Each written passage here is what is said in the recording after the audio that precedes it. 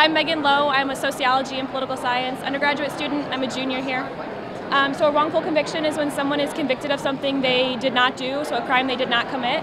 Um, I organized um, all of my findings by northern, central, and southern Illinois.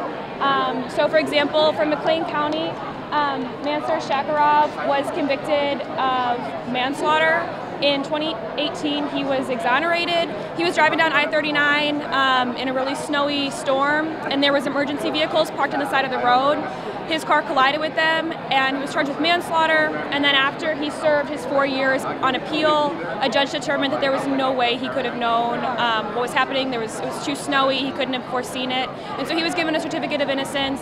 Um, and honestly, four years is on the shorter side for the, the sentences that people served. Um, so I just wanted to bring awareness to that and show how it happens all over the state, not just in Chicago or New York. Any general conclusions you reached? Um, it's a serious issue. People see headlines, you know, Chicago, New York, um, but it happens everywhere. Um, my project, it's happening in your hometown, is in the title. Um, I want people to see that it happens all over the place. It could happen to you. Um, it just depends on the circumstances and, and how it plays out for you, honestly. Is it more of an issue of negligence or corruption among the? Um, I would say it's kind of it's kind of both. It depends on um, the circumstances.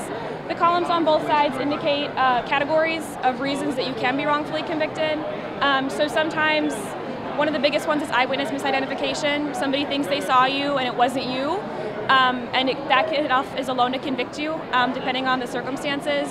So that's more negligence. Um, false and coerced confession, I would say that's more of an issue of corruption. Um, so once police bring someone in as a suspect, they're trained using the Reid technique to get um, a confession from them regardless of whether or not they think it's true.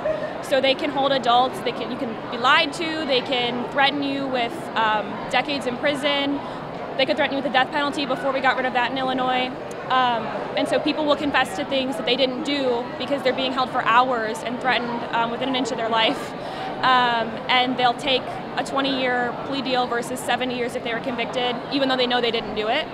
Um, in 2021, we just passed a bill in Illinois prohibiting deception with kids in interrogation. Um, so you can't do that to kids anymore, but you can do it to adults. Um, and so it's kind of an example. I think that's corruption. Eyewitness is more negligence, I would say, but I really think it is a mix of both. And why is it important for you to? Why do you think it was important for you to participate today in today's event? Um, this is what I'm passionate about. This is going to be my career path, um, and I want people to see the visual that it happens everywhere to raise, you know, awareness and um, inspire reform, and just let people know that it happens. Um, like I said, not just in Chicago, not just in New York. Um, so I really wanted people to see the visual and see that it's an issue all over the state for them, for people they know. Awesome. Thanks so much. Yeah, thank you.